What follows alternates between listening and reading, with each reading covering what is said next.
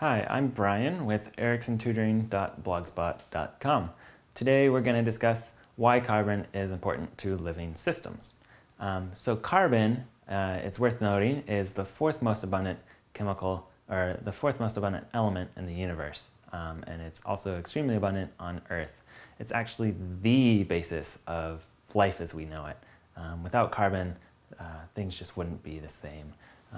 One of the main reasons why is carbon is able to form these long polymers, so long chains of, of atoms connected to each other, um, and these polymers are stable at normal Earth temperatures.